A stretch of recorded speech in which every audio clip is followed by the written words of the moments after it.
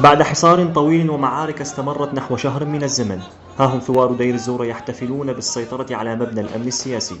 معركة ضارية دارت بين الجيش السوري الحر وقوات النظام لأكثر من ساعتين. سقط فيها قتيلين من الثوار ونحو عشرة قتلى من القوات النظامية.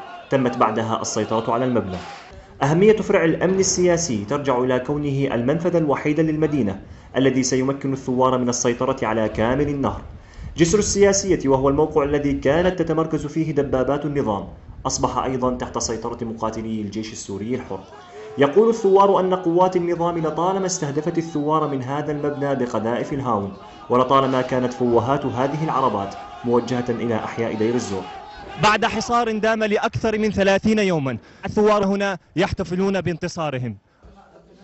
أسلحة كثيرة منها دبابات وآليات وذخائر كثيرة سيطر عليها الثوار يقولون أنها قد تساعدهم في مواصلة القتال وفي المعارك المقبلة للسيطرة على أجزاء أخرى من المدينة.